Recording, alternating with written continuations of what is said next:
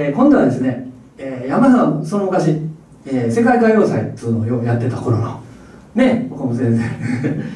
えー、ヘドカとダビデってねゴジラ対ヘドラと違いますよヘドカとダビデの「ナオミの夢」っていうのがあってイスラエルのポップスなんですけども日本語で、えー、非常にヒットしてまああの懐かしい曲ですけどそれをこれで弾いてみたいと思います。